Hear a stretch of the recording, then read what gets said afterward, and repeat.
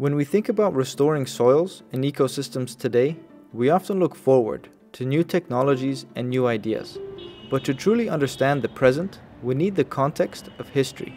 Going back 20,000 years, the world looked very different. Locked in a deep ice age, with average global temperatures dipping as low as 9 degrees Celsius. Vast ice sheets stretched across much of North America, Europe, and Asia. But beyond the glaciers, life thrived. Immense grasslands, sprawling steppes, and open woodlands blanketed the continents, which were some of the most productive ecosystems the planet has ever seen. One of the most famous was the Mammoth Steppe, a biome resembling the African savanna. It stretched from the Iberian Peninsula across Eurasia and into North America, making it the largest terrestrial biome at the time. It was so productive and rich that it supported an abundance of animal life unimaginable today. Steppe ecosystems were extremely resilient and stable, since they developed over hundreds of thousands of years and survived several deep glaciations and warm periods. High animal density allowed only grasses to be the dominant vegetation, where for example in just one square kilometer in the northern region of the Mammoth Steppe, there was one mammoth 5 bison, 6 horses, and 10 reindeer as an example. The number of animals in the southern steppe was significantly higher, of course. But a global extinction of animals was about to take place comparable to the previous mass extinctions in history, leading to the collapse of the mammoth steppe. Fast forward to today, and our ecosystems look nothing like they once did. Biodiversity and ecosystem health are at an all time low. So, what happened? What happened to the great megafauna populations and what can this ancient ecosystem tell us about ecosystem processes and our degraded nature? Our agriculture is producing around 75 billion tons of eroding soil each year. That's around 10 tons of eroding soil per person. Now, what in the world has that to do with the mammoth steppe? Restoring soils and ecosystems are at utmost priority in our modern day and when we dive into the deep past, into the Pleistocene, certain insights emerge that could help us turn things around.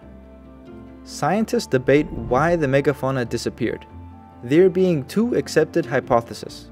The climate hypothesis suggests that as the ice age ended, rapid warming changed ecosystems too fast for large animals to adapt.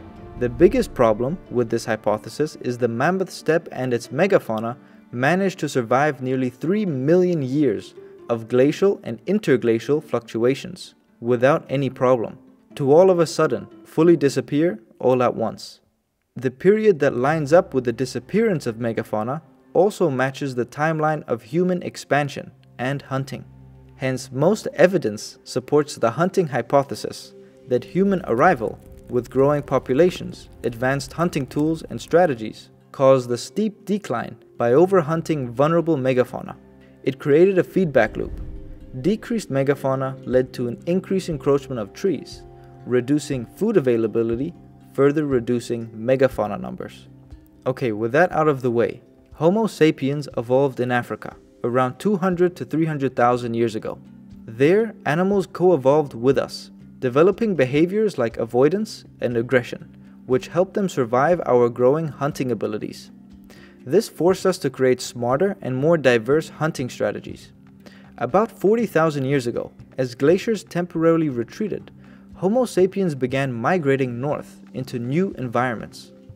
They found themselves in a grassland landscape, the Mammoth Steppe, that felt surprisingly familiar. Open plains, herds of large animals, just like the African savanna, but colder and hairier. Woolly rhinoceros, mammoths, cave lions, and ancient horses roamed these lands. But unlike African animals, these Eurasian creatures had no evolutionary history with Homo sapiens. They didn't know to fear us. With their growing population, new technologies, and advanced hunting strategies, humans targeted the largest animals first. Megafauna provided the most calories for the effort, and over time, this heavy hunting pressure caused a gradual but devastating decline in megafauna populations, eventually contributing to the collapse of the mammoth steppe ecosystem. But this extinction wasn't isolated. In Australia, after human arrival, about 82% of megafauna species vanished. In North America, about 83% disappeared after humans crossed onto the continent. In South America, roughly 72% were lost shortly after human arrival. This pattern, human arrival followed by megafauna collapse, repeats worldwide. Even when modern-day Europeans arrived in North America, they only saw remnants of what once was. But even so, explorers like Meriwether Lewis wrote, The whole face of the country was covered with buffalo, elk, deer, and antelopes. The moving multitude darkened the whole plains.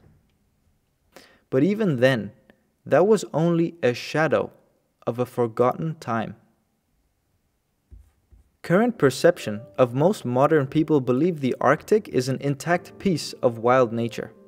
However, real wild ecosystems were destroyed by humans over 10,000 years ago. Current animal density in the Arctic is at least 100 times lower than during the Pleistocene.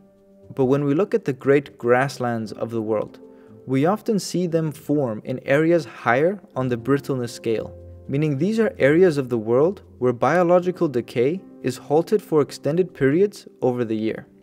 This can be due to extended periods of dryness, such as in the African savanna, or even during the extended periods of very cold temperatures. Hence, this is why grasslands and grazing animals are inseparable. Grazing animals through their microorganisms in their gut are able to biologically cycle plant material rapidly into dung and urine, increasing the productivity of the land. After large megafauna populations in the Mammoth Steppe declined majorly due to overhunting, the result was millions of square kilometers of grasslands were left without their symbiotic partner.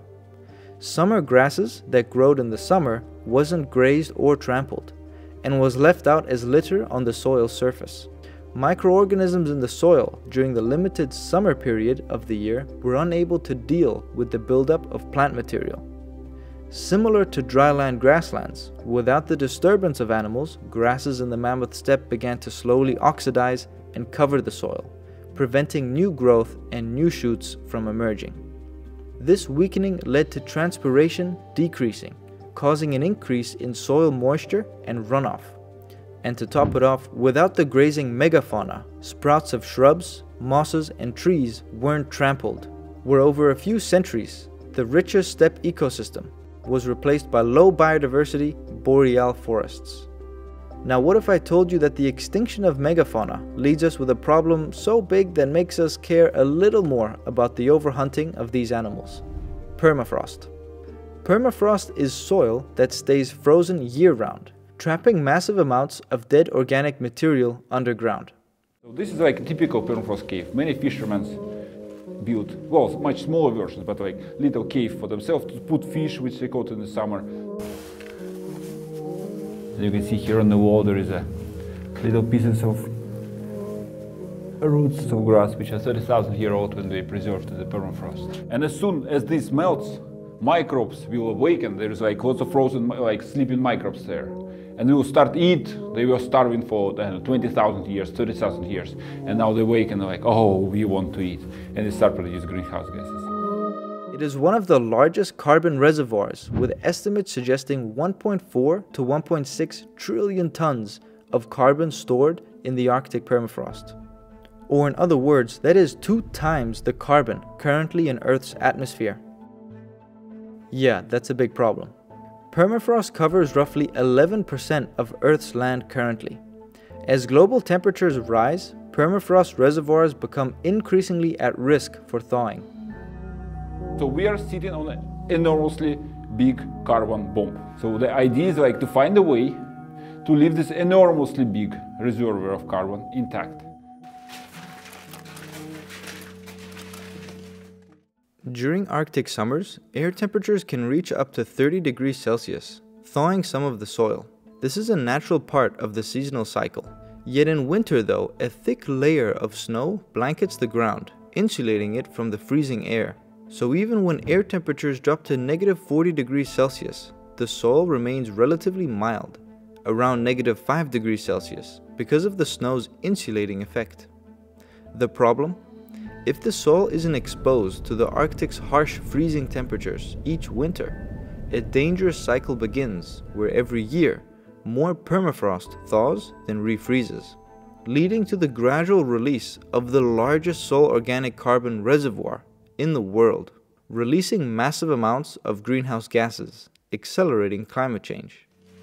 In the winter, it's very cold outside, but we have a snow cover. So this half meter of snow is a great heat insulator. So no matter how cold it's the winter, under the snow it will be way warmer. To keep it like frozen, you need to uh, cool it very well in the winter. And how can you do that? You can like, I don't know, buy million bulldozers and bulldoze all the Arctic and plow all the snow into piles. However, I'm afraid that this may create kind of like negative carbon footprint. But there is one environmentally friendly way to do that. Now this is where the animals come in. The grazing, trampling, and disturbance of grazing animals break the insulating snow layer. This exposes the ground to harsh Arctic winter, helping preserve and even regrow permafrost. Research shows that where grazing animals have trampled the snow, soil temperatures are able to go down to negative 30 degrees Celsius, refreezing parts that thawed and securing existing permafrost. This is exactly what Pleistocene Park in Siberia is trying to replicate and is demonstrating. So instead of using bulldozers, they are reintroducing large wild herbivores to bring back the ancient ecosystem processes that stabilize climate and landscape for millennia, and ultimately helping to prevent the release of the permafrost carbon bomb. By reintroducing animals like the Yakutian horse, muskox, bison, yaks, and many more animals, they will trample the insulating snow, opening up the landscape and allowing grasses to thrive again, eventually reviving the highly productive and biodiverse ecosystem that once was. The removal of grazing megafauna from the world's brittle environments led to two different yet very parallel ecological consequences. In dry brittle grasslands, the absence of animal impact and disturbance caused landscapes to degrade into desert, a process driven by plant oxidation. See our previous video on plant oxidation to learn more. Meanwhile, in cold, brittle Arctic regions, the loss of large herbivores allowed boreal forests to encroach into former grasslands, decreasing productivity, biodiversity, and accelerating permafrost thaw. These outcomes highlight how deeply misunderstood livestock and ruminants are. Rather than being climate villains, their role in ecosystem function is essential, especially in brittle environments where biological decay is limited for much of the year. One common misconception today, and one I had myself, is the idea that forests are always the pinnacle of biodiversity and ecosystem health. In some cases, like tropical rainforests, that's true, but not everywhere. We hear of the abundant tree planting projects all around the world to restore the environment. Especially in the colder and more arid regions of the world where environmental degradation has taken place, it was actually the grasslands, not the forests, that supported the richest communities of life. Not only that, unlike forests which store most of their carbon above ground in trunks and branches, grasslands store the majority of their carbon below ground in dense root systems and rich soil organic matter. Grasslands are not just seas of grass. In healthy systems, they often form mosaics, wide open plains dotted with scattered older growth trees, shrubs, wetlands, and rivers. These mixed landscapes created an incredible edge habitat that supported a huge diversity of species grazers, browsers, predators, birds, insects, fungi. Additionally, our most productive agricultural lands were once the world's great grasslands, with rich soil organic matter, which we've greatly relied upon for decades. The disappearance of megafauna has led to huge environmental changes all over the world. Without the impact of large herds of animals, we are seeing environmental degradation in the northern polar regions with boreal forests and melting permafrosts, all the way down to the desertification of brittle, arid environments. The environmental crisis did not only start 100 years ago with the Industrial Revolution, but it began more than 20,000 years ago when rampant overhunting and extinction of grazing megafauna changed the face of ecosystems around the world. There is like lots of international programs on like saving the nature, like protection, and there is nothing to protect. Before you have to protect something, you have to create something. There is no wild nature. Contrasting many modern day beliefs, animal integration with the right management is essential.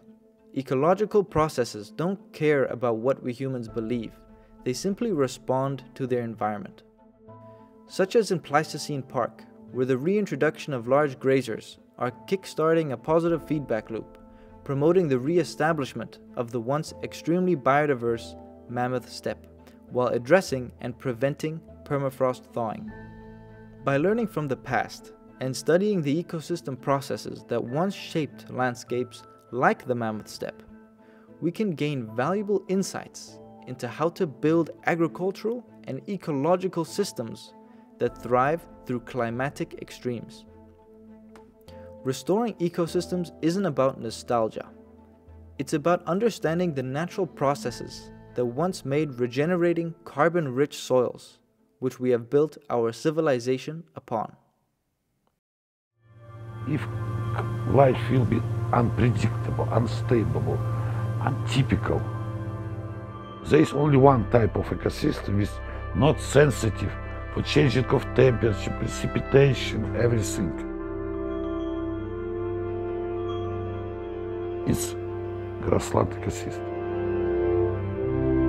In the past, this ecosystem was biggest in our planet. African savanna, Mammoth steppe, pasture ecosystem, it was everywhere.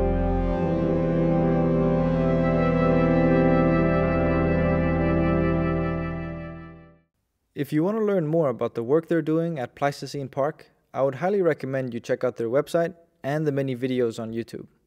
Thank you for watching.